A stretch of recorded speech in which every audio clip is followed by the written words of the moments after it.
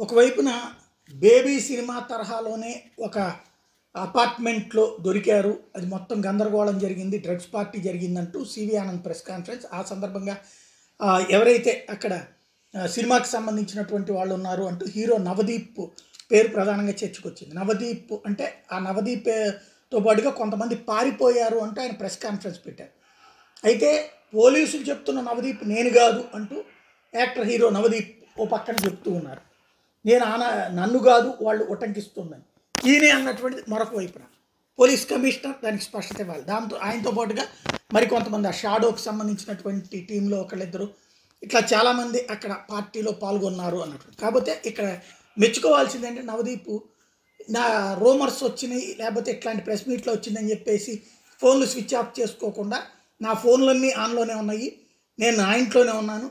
నేను ఎక్కడికి పారిపోలేదు. నన్ను కాదు అంటోంది పోలీసులు అంటూ ఓపెన్గా ట్వీట్ చేసి చూపించారు. ఇప్పుడు పోలీసులు స్పష్టత ఇవ్వాల్సిన పరిస్థితి క్రియేట్ చేశారు.